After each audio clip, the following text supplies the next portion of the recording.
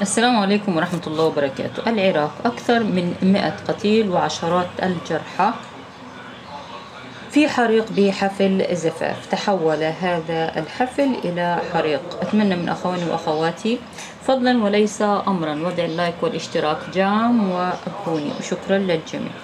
لقي أكثر من 100 حتفهم وأصيب 150 آخرون في حصيلة أولوية بعد حريق بقاعة زفاف في قضاء الحمدانية بمحافظة نينوى العراقية. فيما راح الدفاع المدني يبحث عن ناجين وسط حطام المبنى المتفحم حتى الساعات الأولى من صباح اليوم الأربعاء. قتل 100 شخص على الأقل وأصيب أكثر من 150 آخرين بجروح حريق اندلع بقاعة للأعراس في بلدة الحمدانية.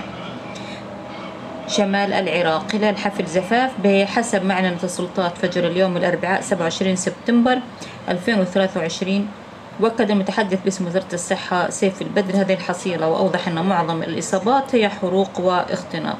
وفي مستشفى الحمدانية العام شوهدت بعد منتصف الليل سيارات إسعاف تهرع ذهابا وإيابا لنقل المصابين في حين تجمع أمام المستشفى عشرات الأشخاص منهم أقرباء للضحايا وآخرون سكان جاءوا للتبرع بالدم. ووقف آخرون كذلك أمام شاحنة براد تكدست فيها أكياس سوداء وضعت فيها جثث القتلى. وفق المصور. من جهته قال الدفاع المدني العراقي إن معلومات أولية تشير إلى أن سبب الحريق هو استخدام الألعاب النارية أثناء حفل الزفاف. مما أدى إلى إشعال النيران داخل القاعة بادئ الأمر. ثم انتشر الحريق بسرعة كبيرة وأضاف في بيان أن القاعة مغلفة بألواح الإيكوباند وهي مادة للبناء مكونة من الألمنيوم والبلاستيك وسريعة الاشتعال. موضحا أن استخدام هذه الألواح في البناء مخالف لتعليمات السلامة المنصوص عليها قانونا.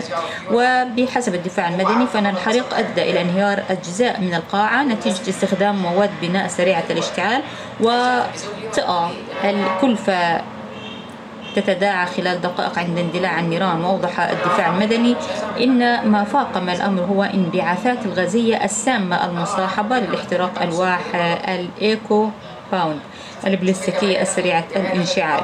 ومن بين الجرحى رانيا وعد 17 عاما اتصبت بحرق في يدها.